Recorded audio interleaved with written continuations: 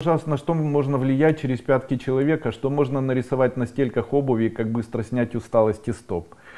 У нас на стопе есть такие точки, это точка, у нас на стопе есть э, э, крепление нашей, нашего сустава голени к стопе. И он э, выражается в виде того, что есть и с левой стороны, и с правой стороны такие бугорки круглые, которые рисовали на кедах.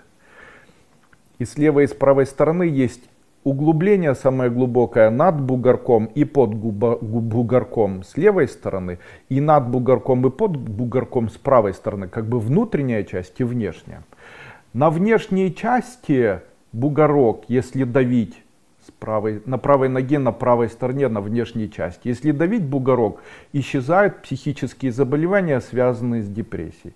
А если с левой внутренней части давить на бугорок или углубление под вот этой шишечкой, то тогда наоборот у человека появляется спокойствие, он засыпает вечером хорошо. А есть объединенная часть. Если разделить стопу на ровные четыре части, то центральная часть в середине стопы обозначает избавление человека от всех элементов напряжения и напрямую связано с выдуванием проблем, которые связаны с нервной системой. Поэтому если локтем надавить на данную часть или каким-либо твердым предметом, чтобы человеку было очень больно, а человек при этом не будет сопротивляться, а будет терпеть до момента, пока у него появится пот, с моментом появления пота появляется сон после этого, человек хорошо спит, у него исчезают э, панические атаки, нервные эпизоды.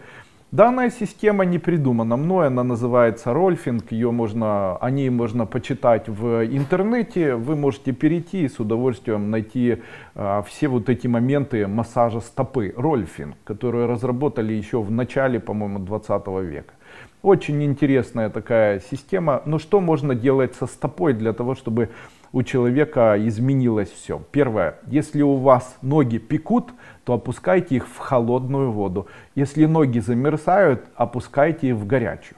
Если ноги у вас холодные, это говорит о том, что ваше физическое тело очень истощилось. Это говорит о том, что вы много работаете, много приседаете, и вам не хватает жиров и сна.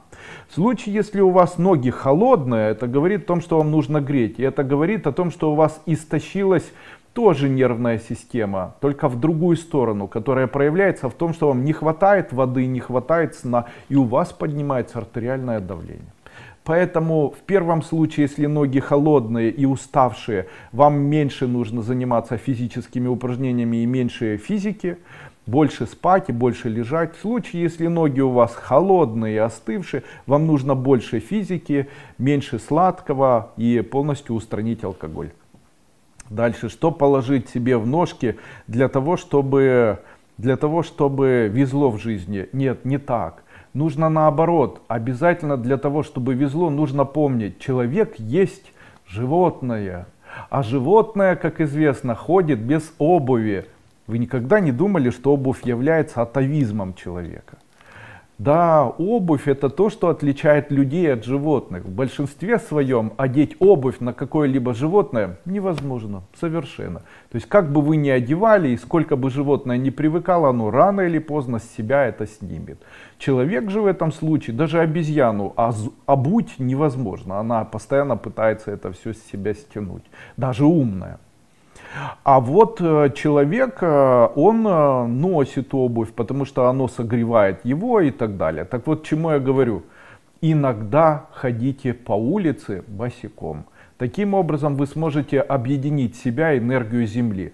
Кстати, хождение по траве является еще и хорошим компонентом для улучшения иммунитета, массаж и так далее.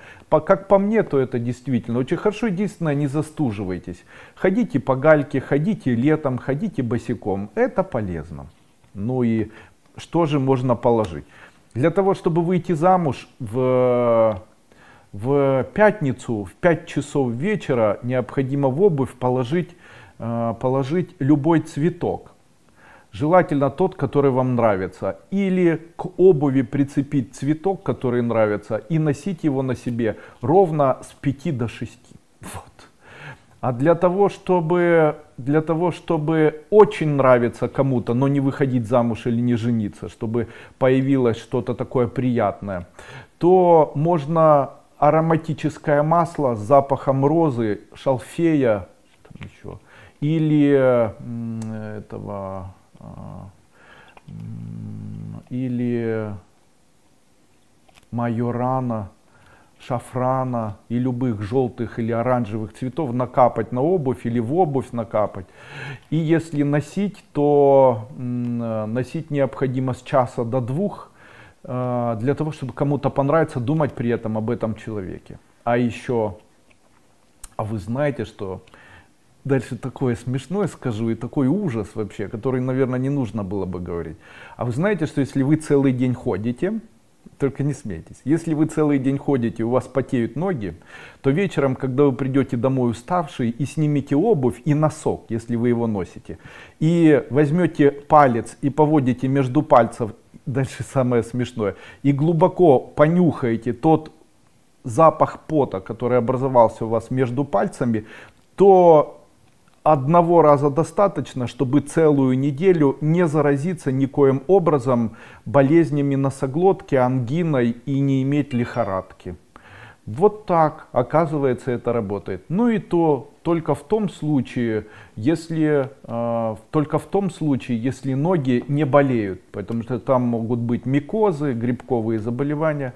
А, это тоже, кстати, а, это тоже, кстати, является магическими приемами. И я тоже, кстати, когда-то это вычитал в гримуарах старинных, старых-старых.